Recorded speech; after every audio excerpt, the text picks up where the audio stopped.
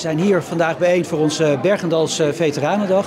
We nodigen als gemeente ieder jaar al onze veteranen uit in het Vrijheidsmuseum voor een, een middag waarin we een paar toespraken houden, maar waarin we vooral heel veel gezelligheid bieden aan onze veteranen om ze te bedanken voor alles wat ze voor ons gedaan hebben. Ik vind het ontzettend belangrijk om deze mensen te blijven danken voor wat ze gedaan hebben. Ze hebben hun, hun leven in de waagschaal gesteld voor vrede en veiligheid. Vaak heel ver hier vandaan.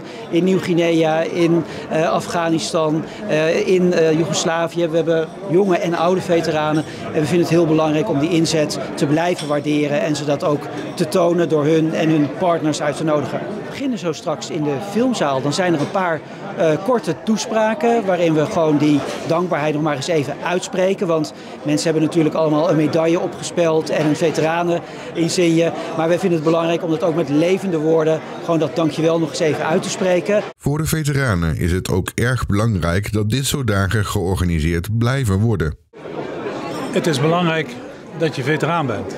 Dat je laat zien dat je wat betekend hebt voor mensen in heel de wereld. Want een veteraan komt over de hele wereld.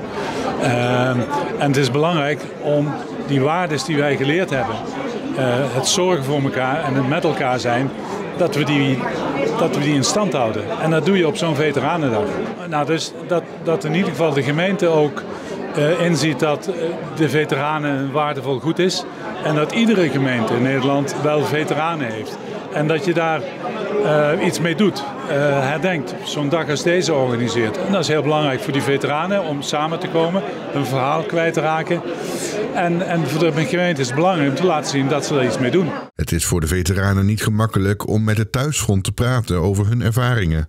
Dus is het fijn voor hen om hun lotgenoten hier te treffen. Nou, die mensen hebben een hoop meegemaakt. Die hebben een hoop kameraden zien sneuvelen. Die hebben misschien zelf dingen gedaan die in die tijd in de huidige toestand niet gewaardeerd werden.